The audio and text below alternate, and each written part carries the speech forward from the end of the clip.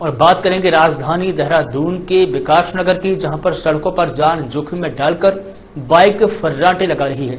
बिना हेलमेट पहने बाइक सवार के लिए जानलेवा साबित हो सकता है, जबकि सड़क सुरक्षा सप्ताह मनाया जा रहा है। ट्रैफ़िक पुलिस और स्थानीय लोग सड़क यातायात सुरक्षा को लेकर जागरूक भी कर रहे हैं, लेकिन तमाम प्रयासों के बावजूद बाइक सवार बिना हेलमेट के सड़कों पर फर्राटे लगा रहे हैं। दुपहिया वाहन चालकों पर पुलिस परिवहन विभाग की जागरूकता अभियान और चालानी कार्रवाई का भी कोई खास असर नहीं दिख रहा है। हालाँकि दोपहिया वाहनों की दुर्घटनाओं की खबरें भी अक्सर पस्ता दून क्षेत्र में देखने को मिलती है। फिर भी बिना हेलमेट लगाए बाइक घर से निकल जाते हैं। इन बाइक सवारों को अपनी जान और अपने परिवार की परवाह बिल्कुल भी नहीं है।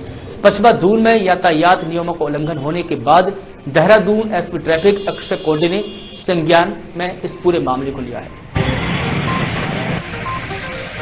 पुलिस ट्रैफ़िक पुलिस का प्रेजेंस उस एरिया में कम है। आ, फिर भी मैं ये कहना चाहूँगा वहाँ मोस्टली लेबर लोग हैं जो ट्रिपल राइडिंग वगैरह में देखे जाते हैं और यूपीएस और बाकी यूनिवर्सिटीज के स्कूल के लड़के बिना हेलमेट के चलते हैं। हमने आ, दो महीने पहले एक बहुत बड़ा अवेयरनेस कैंपेन भी उस एरिया में चलाया था और चूँकि ये आप, आपके चैनल के माध्यम से ये नोटिस भी हुआ है वहाँ एक चलानी कार्रवाई का अभियान भी हमारे द्वारा चला